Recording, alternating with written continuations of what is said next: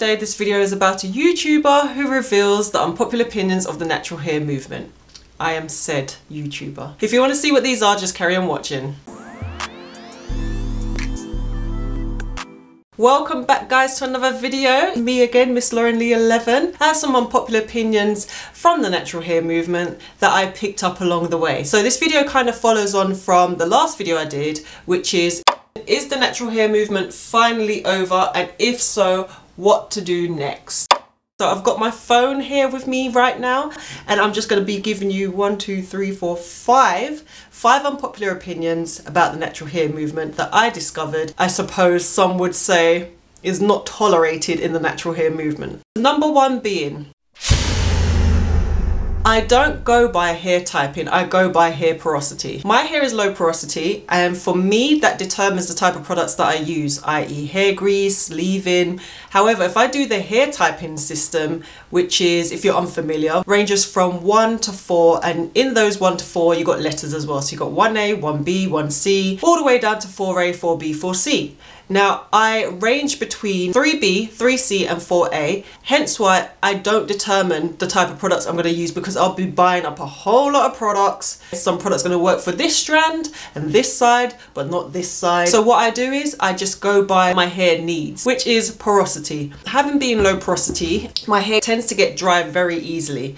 It doesn't easily allow moisture in your hair, but on the other hand, it doesn't easily allow moisture to escape your hair. The characteristics of low porosity hair is that you've got a hair strand and you've got shafts laying on the hair strand. These shafts need to be heated for them to lift and then for the moisture to penetrate. The way you heat the hair is either through a steam treatment or a hot hair mask, which I tend to do at times. Once the moisture's in, I've got to seal it in quickly with a good slather of hair grease. As I've mentioned in my last video, I use the typing system for some of those who are not necessarily familiar with the porosity of their hair and they're just more familiar with the hair typing system. Okay, so let's move on to number two.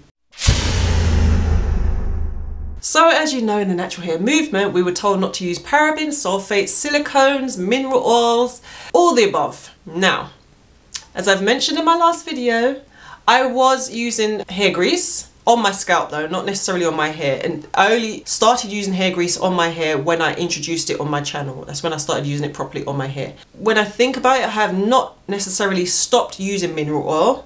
Definitely not stopped using silicones. The Shampoo that my hair loves the most is Tresemme. I stopped using Tresemme because there was a bit of controversy, just for, you know, morality.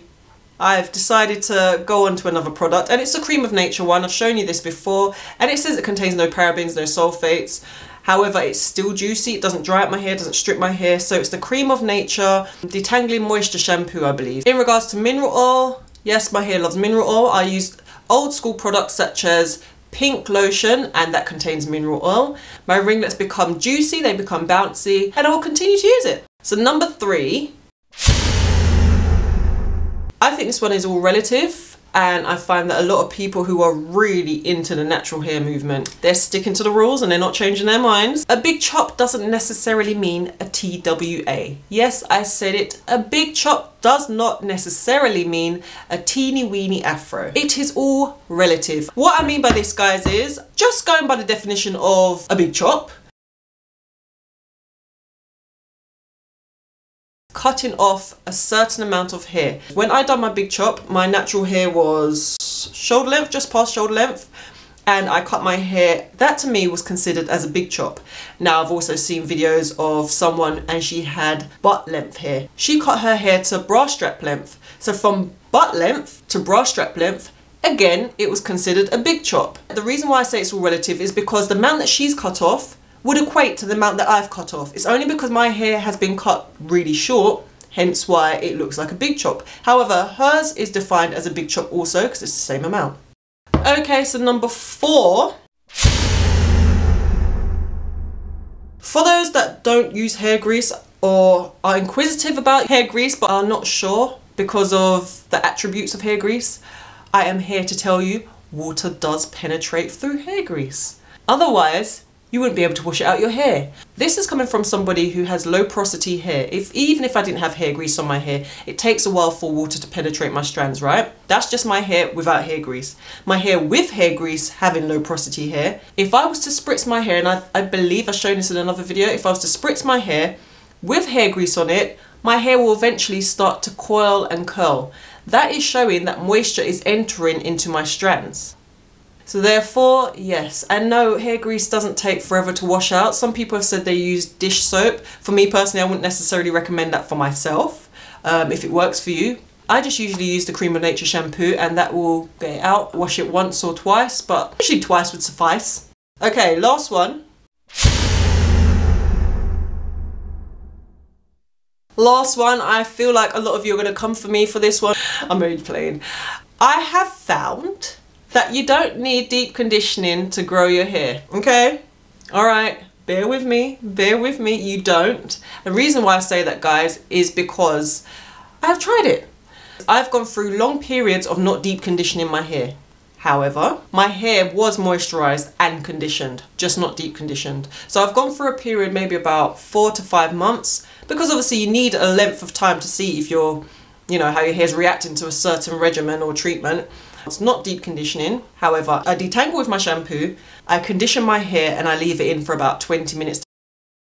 Put my leave-in conditioner in, put my hair grease in and my hair flourishes. I'm not saying not to use deep conditioner. Deep conditioning does work for me over time. It's not an overnight thing. One thing I will say where deep conditioning comes in handy is when I'm about to straighten my hair. So for the next two washes, if I'm going to straighten my hair, okay. So what deep conditioning tends to do for my hair prior to me straightening my hair is it gets my ends to lie down. My ends are more moisturized, um, less brittle. So my ends are less brittle, my hair looks more sleek and that's more so the time that I'll tend to deep condition the most. However, as I said, it's very time consuming for me. I feel I do a lot to my hair anyway. I mean, doing this style alone, guys, I'm not even gonna lie. It, was, it's an eye-watering amount of time. The day before I started, and it took about four hours then. That was a lot for me, and I had to just leave it. The next day, guys, took eight hours. Eight hours. This is the length of my hair. So it's pretty much butt length, but yes, it took 8 hours. So 12 hours in total. Yes, my unpopular opinions from this YouTuber, I have revealed them to you. But if you do want to see what I have to say about the natural hair movement and what others have had to say in response to my video, then you can go and click over here now to watch that video.